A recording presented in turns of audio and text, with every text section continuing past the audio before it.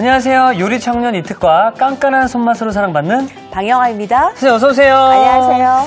자 선생님 지금이 네. 음. 딱 나들이 철이라서 나들이 메뉴를 좀 배우고 싶습니다. 네, 이번 주는 정말 대체 휴일까지 있어가지고요. 어. 예. 정말 많은 분들이 야외로 어디로 갈까 막 고민하실 것 같은데요. 음. 그래서 제가 비장의 아이템을 준비했습니다. 어떤 거죠? 멸치하고요, 연어하고 어. 닭고기를 이용해서 음. 삼색 주먹밥 한번 만들어 볼 거예요. 야 주먹밥이요. 네. 그 어릴 때 정말 좋아했던 추억의 음식인데 네. 이 주먹밥은 네. 권투 선수가 가장 좋아한다는 거 알고 계세요?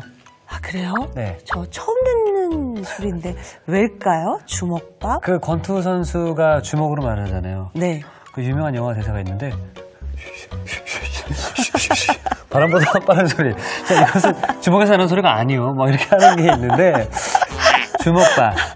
아, 그 주먹 밥. 아, 네. 저도 이 얘기 들으니까 네. 아들이랑 요리할 때 제가 아까 하셨던 막 이 제스처를 제가 네. 하면서 주먹밥에 대해 얘기를 해주면 너무 웃을 것 같아요. 자, 요즘 저는 주먹이 좀 약해서 네. 주먹밥을 먹고 네네. 좀 주먹을 불끈 져야 될 것 같습니다. 네, 오늘 만들어 드리는 거 배우셔가지고요. 네. 주먹의 힘도 세지면서 네. 또 건강도 챙길 수 있는 주먹밥 한번 배워보시죠. 자, 네. 오늘 재료부터 알아보도록 하겠습니다.